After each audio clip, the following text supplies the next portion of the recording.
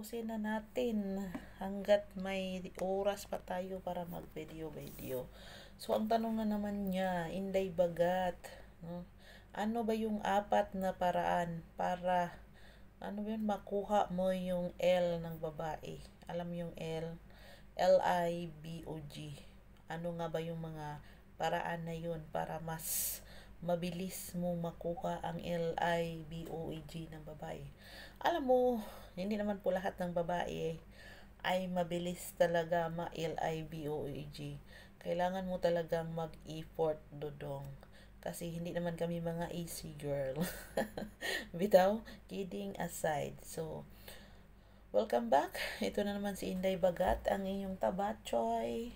Tabachoy na open-minded vlog. So, yun na nga. Ang pag-usapan natin ay tungkol sa para mas mabilis na L-I-V-O-A-A-J si Anday, no? Mabilis siya ma-L. So, una po talaga, may mga babae po talaga na mabilis ma-L pag nakita nila yung partner nila na nag jaja kukul. Yes. Bago sila mag bakbakan ay makikita nila yung lalaki na nag jaja kukul doon sa kanilang uh, dodong, kanilang saging. So, number one po talaga yan. Yes, it's a real talk. It's an honest talk na mayroong mga babae na mas, ma, ano ba yun? Mas mabilis sila ma-hyper. Mas mabilis sila ma-L pag nakita nila yung partner nila na nagaganyan sa harapan mismo nila. Ha? So, tell me if I'm wrong. Dahil, am I right? Iskat, hindi magatay. So, yun po, no? Pag nakita nilang gumagano na sa ano doon, uh, of course, L na L ka. Yeah. Ano pa ba? So, number two, ito yung tinatawag nating pag nakikita nila yung partner nila na ano ano yung ginagawa nila ng partner na mabilis sila mael na nag uh, uh, nagsisend ng mga message no? Example yung ma-effort ba? Umaga pa lang hanggang gabi ang effort ng isang dudong grabe naka-text ang sarap ng mga text ang sarap ng mga message ang sarap ng mga chat So, sino bang babae hindi ma-EL niyan? Lalong-lalo na, uh, alam mo yun yung mga, ano ba yun ang mga wordings dyan, no?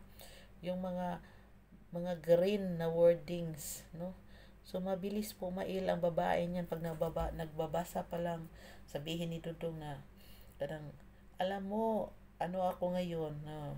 Chat-chat lang good, uh, hinahaplos kong ang ano ko ngayon. Ang sarap ipasok tong saging na to sa kuan mo. Gusto kong amuyin yung ano mo. Chat lang yan ha. Pero may babae talaga na mabilis mail kahit chat lang yan. Basta galing sa puso.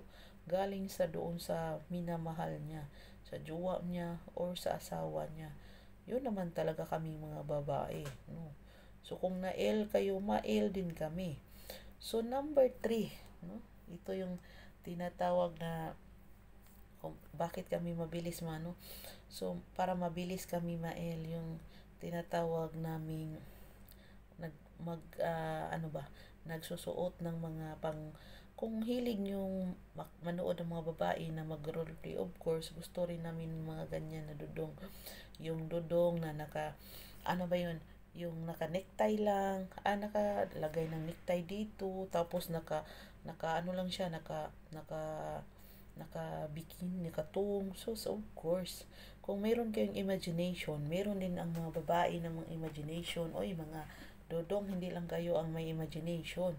So gusto din namin ng mga ganyan oy na mga dodong na marunong marunong mag uh, play play hindi yung basta na lang nyo kaming uh, basta niya lang nyo lang kaming puntahan doon at i pasok ang saging na yan na wala naman lang kaano-anuhan. So gusto din namin ng mga ganyan na naka na niktay-niktay si Dodong, tapos nakasuot ng ganyan, tapos nagsayaw-sayaw-sayaw sa harapan.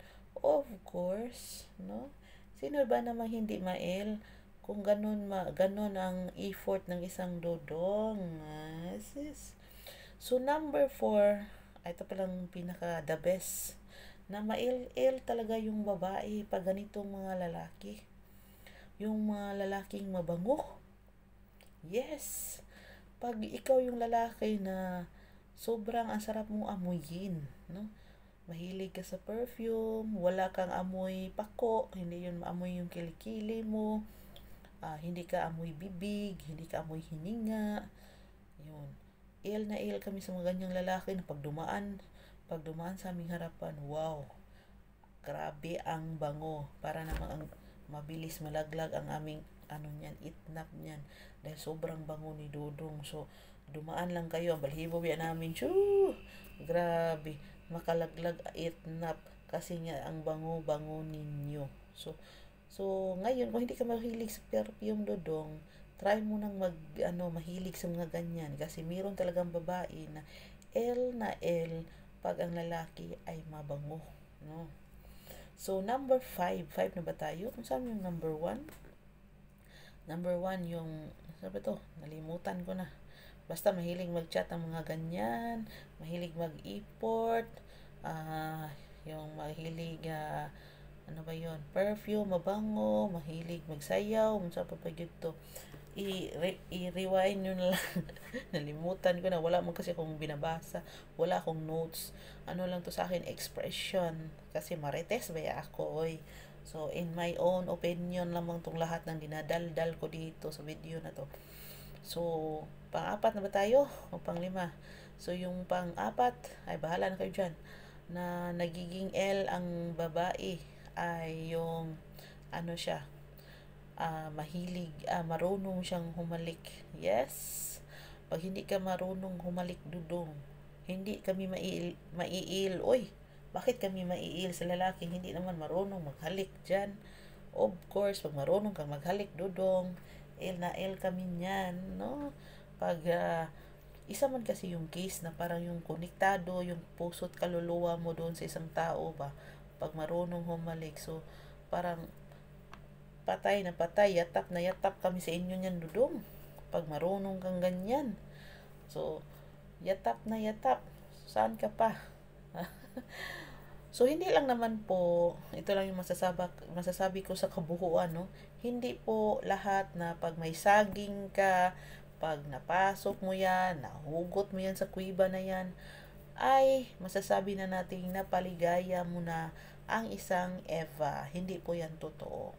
Nasa total performance pa rin yan, nasa pagdadala pa rin yan, at nasa tamang technique pa rin yan, Dodong. So, kung gusto nyong malaman ay tikman nyo na ako.